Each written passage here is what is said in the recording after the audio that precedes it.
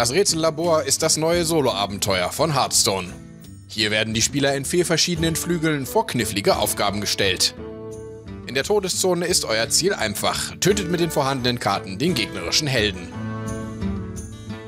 Im Spiegelbildflügel müsst ihr hingegen eine genaue Kopie der Einheiten auf dem Schlachtfeld nachbilden. Im dritten Flügel mit dem Namen Tabula Rasa müsst ihr alle Einheiten vom Schlachtfeld verschwinden lassen. Auch die eigenen.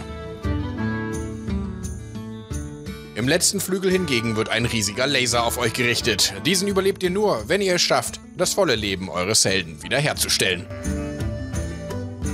Somit hat Hearthstone erneut eine ganz neue Art von Solo-Abenteuern ins Spiel gebracht. Bei den ersten Erweiterungen, die die Story in den Vordergrund rückten, mussten die Spieler gegen Bosse mit besonderen Fertigkeiten antreten. Die Schatz- sowie die Monsterjagd legten den Fokus auf zufällige Karten, die man im Laufe des Spiels möglichst sinnvoll zusammenstellen musste.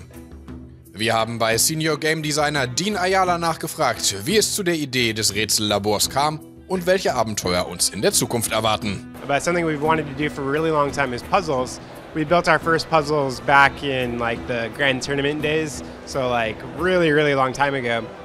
Uh, but we've had the idea of doing puzzles for so long, it's just the right fit for it thematically. For Knights of the Frozen Throne, you kind of want to tell the story of the Lich King. You don't want to like puzzle mode's probably not the right fit for there. But for this set being about science and you know the mad laboratory, uh, puzzles just felt like a pretty good fit. And in the future, I think we're just going to continue to do different stuff.